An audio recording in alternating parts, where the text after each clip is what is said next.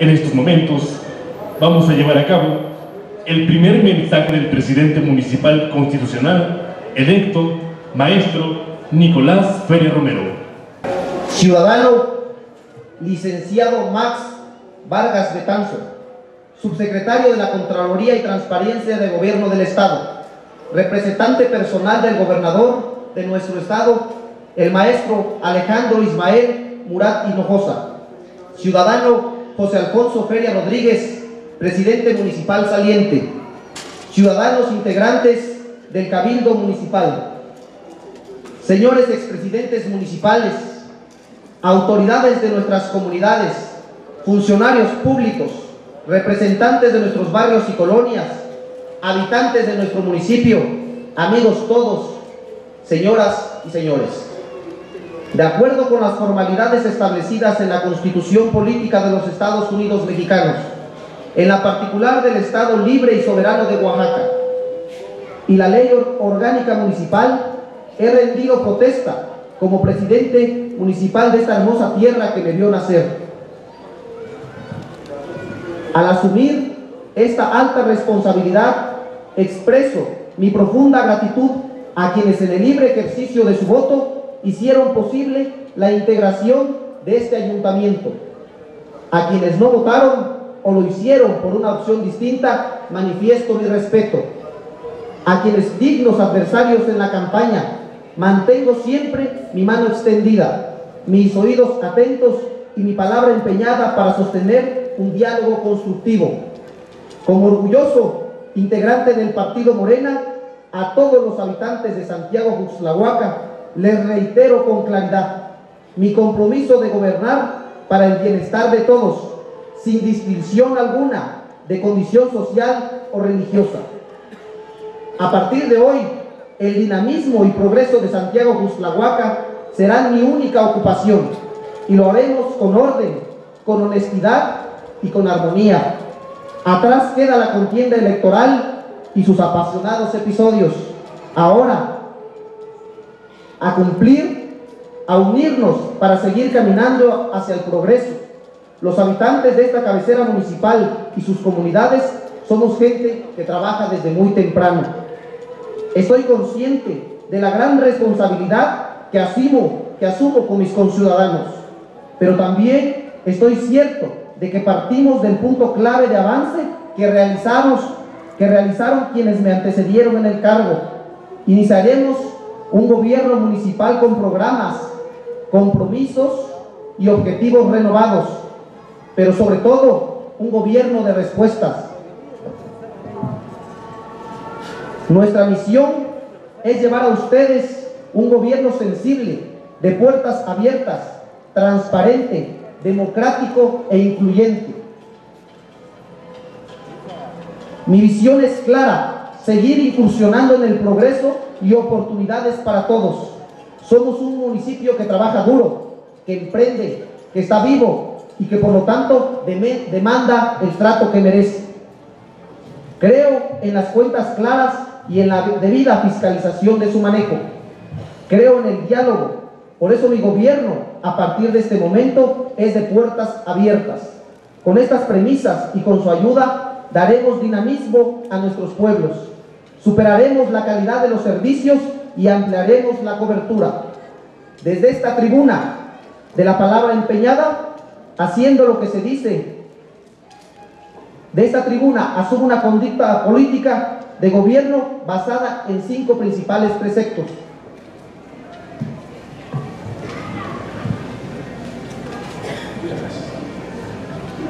Como número uno, el cumplimiento de la palabra empeñada, haciendo lo que se dice y diciendo lo que se hace. Dos, la armonía política, respetando la pluralidad, la pluralidad ideológica de los habitantes de nuestro municipio, pero invitándoles a que se sumen al trabajo. Tres, la austeridad en el ejercicio de la función pública y servicio responsable. Cuatro, el fortalecimiento del Estado de Derecho para aplicar políticas públicas con justicia y que beneficien a niños, a jóvenes, adultos, personas de la tercera edad y sobre todo, y muy importante, a las mujeres. 5. la coordinación institucional con los órdenes de gobierno y los poderes políticos. La tarea de gobernar no admite distracción de ninguna índole. Gobernar es concentrarse en cumplir con los compromisos contraídos y acordados junto a nuestras autoridades de las agencias municipales y el pueblo, dentro del periodo de tiempo que comprende el mandato constitucional. En el municipio de Santiago Buxlahuaca, algunos problemas tienen su origen en dos principales factores. Por un lado, la creciente demanda de servicios públicos derivada de un crecimiento urbano desordenado y por otro lado, la insuficiencia de recursos públicos al momento de hacer frente a las demandas sociales. Esto explica el incremento de la, la inseguridad pública y de la violencia en algunos tiempos, el mejoramiento en la recolección de basura y su proceso, la falta de infraestructura urbana y de espacios públicos recreativos, el mal estado de las calles y vialidades, la falta de espacios físicos dentro del Palacio Municipal para la atención de la ciudadanía y de sus demandas. Sería ingenuo y demagógico decir que en dos años de gobierno, en los cuales con su confianza trabajaremos, se resolverán todos los problemas del municipio.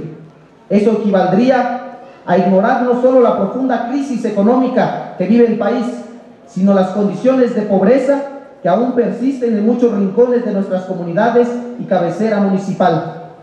Ante estas problemáticas, no nos paralizaremos, ni las usaremos como pretexto. Siempre propondremos caminar junto al pueblo con un arduo trabajo. Estamos ya trabajando en las soluciones mediante un plan de gobierno realista, austero y viable, que hoy someto a consideración de este cabildo y del pueblo en general. Cuatro, son los retos que engloban las acciones de este gobierno municipal que me voy a honrar en presidir. El reto político, el reto social, el reto económico y el reto administrativo. En el reto político tiene que aplicarse una gobernabilidad que signifique construir y mantener una relación de concordia en el funcionamiento del cabildo y del ayuntamiento. El tratamiento de los asuntos públicos requiere de una conducta institucional basada en el respeto, el diálogo y los acuerdos. Como integrantes de otro órgano colegiado de gobierno, el síndico, los regidores y el presidente municipal debemos hacer un solo frente en beneficio de los ciudadanos, dejando a un lado las estridencias y conflictos estériles que obstruyan la capacidad de acción del ayuntamiento.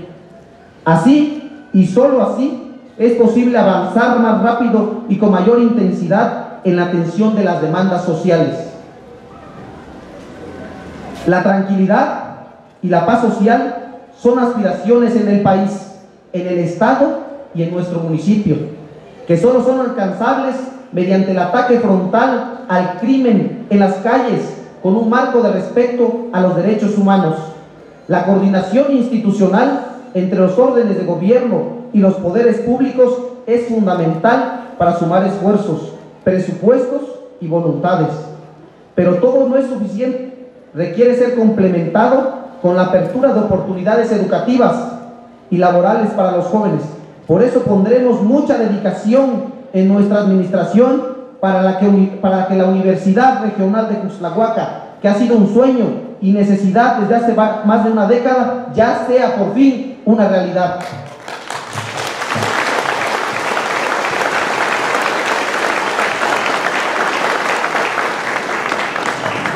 La conducta institucional será la base de actuación de mi gobierno, porque repercute en el bienestar social, agilizando trámites, acortando tiempos y posibilitando el acceso a mayores recursos. Pero no, no solo es eso, también fortalece a las figuras de autoridad y al Estado de Derecho. Este municipio estará dispuesto a sumar esfuerzos y presupuestos al de los gobiernos estatales y federales para avanzar en obras públicas y en programas sociales para el beneficio de los habitantes de la región. En el reto social, los servicios públicos deben brindarse con calidad y con calidez. Son la prioridad para este ayuntamiento como instancia de gobierno más cercana a la gente. Vamos a cumplir con este objetivo de una forma amable y respetuosa. En la recolección de la basura, como lo demanda toda la población, la puntualidad de las colonias y apoyo a proyectos a nuestras comunidades serán el eje central y motor de este ayuntamiento.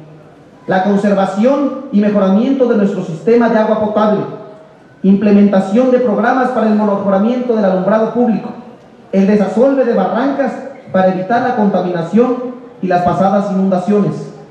Vamos a dignificar a nuestros mercados y comerciantes, así como las áreas verdes que son vitales para el abasto de alimentos y la recreación social respectivamente.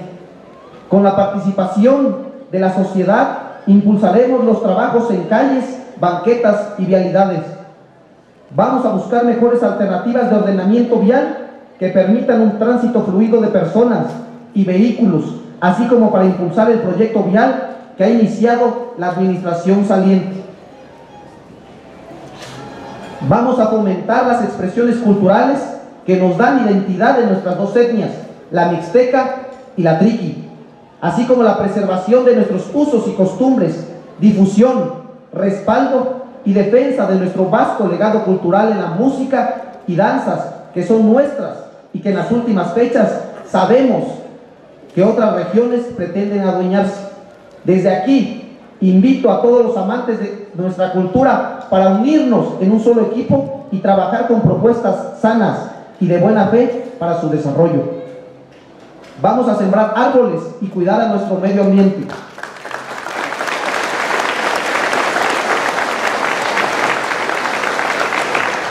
Coadyuvaremos en la ampliación de los programas sociales, principalmente en los programas alimentarios para atender la grave situación que padecen hombres, mujeres y niños que viven en condiciones de pobreza extrema, no solo en el municipio, sino en todas las agencias. La obra pública también reviste mucha importancia en nuestra administración. Junto a los ciudadanos y en nuestras comunidades impulsaremos obras consensadas que nos permitan seguir avanzando para el bienestar de todos. En el reto económico, el desarrollo del municipio debe estar fincado en la ley, el orden y la competitividad. Las inversiones productivas, las que generan empleos y bienestar social, son bienvenidas al municipio Intensamente trabajaré para que Santiago Juxlahuaca siga siendo referente de progreso, de unidad y de trabajo. Pondremos nuestros mejores esfuerzos en lograr planes de trabajo conjuntos que impulsen aún más el comercio establecido, acciones en base al diálogo para la continuidad del reordenamiento de nuestros mercados y coordinación en las plazas de jueves y viernes. Con esto estamos seguros que el comercio será la célula que mueva a la economía de Tuxtlahuaca. El mandato de las urnas me obliga a trabajar para aplicar programas sociales especiales y poner orden en el crecimiento urbano. Por eso vamos a moderar los asentamientos humanos que se realicen en el territorio municipal, asegurando que sean viables, sustentables y congruentes con la disponibilidad de servicios públicos, principalmente el agua y el drenaje. También estamos obligados a verificar que los desarrollos habitacionales ya establecidos cumplan con todas y cada una de las normas de desarrollo urbano, incluyendo el equipamiento al que de acuerdo a la ley están obligados a proporcionar. La relación entre el ayuntamiento y los desarrolladores urbanos requiere de especial observación para evitar el conflicto de intereses que denigran el servicio público en detenimiento del interés social. En el reto administrativo, las actuales circunstancias financieras del ayuntamiento limitan el margen de maniobra y reducen la capacidad de respuesta.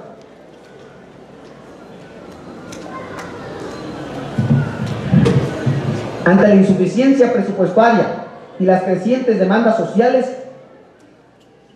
el funcionamiento de la administración pública municipal debe ser austero y eficiente. Ofreceremos profesionalismo, transparencia y honestidad en la operación de la administración. Rechazamos la improvisación, la opacidad y el conflicto de intereses que en esencia es corrupción.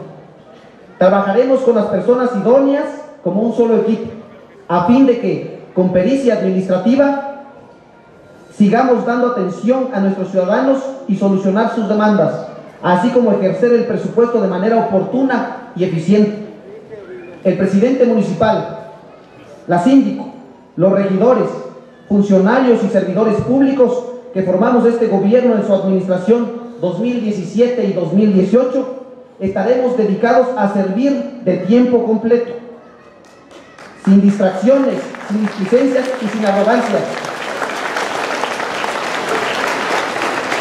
Son tiempos de sumar esfuerzos y, y caminando juntos en base al diálogo y esfuerzos compartidos de trabajo, solo así Cuslahuaca seguirá incursionando en el progreso, en el progreso para todos. A mis compañeros de trabajo les digo que a partir de hoy empieza la cuenta regresiva para cumplir lo que ofrecimos en campaña. Les pido que la palabra empeñada en este día se transforme en buenos resultados de trabajo, de trabajo para que al final de nuestro mandato constitucional el pueblo nos agradezca o nos reprima. Señoras y señores, Santiago Buslahuaca es orgullosamente nuestra casa. Hoy tengo el privilegio y el deber de seguir restaurándola, de cuidarla y de proyectarla a un futuro mejor. Todos tenemos cabida en esta tarea. Los niños, porque son la fuerza y la esperanza de este municipio. Al estudiar, los jóvenes cumplen con esta responsabilidad con entusiasmo y creatividad. Jóvenes con quienes impulsaremos programas importantes para el desarrollo. Lo mismo lo hacen los empresarios y comerciantes al generar puestos de trabajo, los campesinos al cultivar, los profesores en las aulas al enseñar, las amas de casa y mujeres que son ejemplo de esmero y lucha diaria al gobernar sus hogares con honradez y con mucho amor. Quienes ejercen un oficio y a nuestros queridos adultos mayores mis respetos por ser la voz experimentada de un pueblo que crece y se moderniza.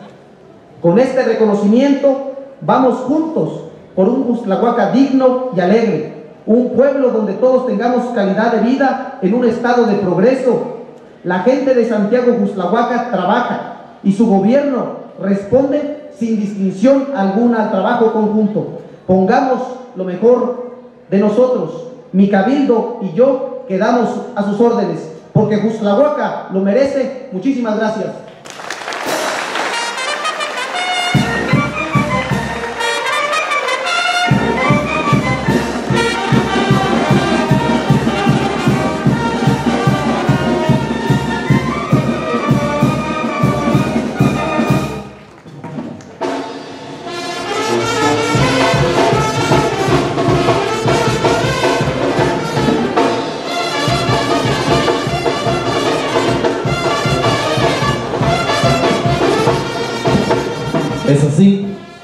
Como el ciudadano maestro Nicolás Pérez Romero dirige su primer mensaje a la ciudadanía de Santiago Cuscahuaca como presidente municipal constitucional en el periodo 2017-2018.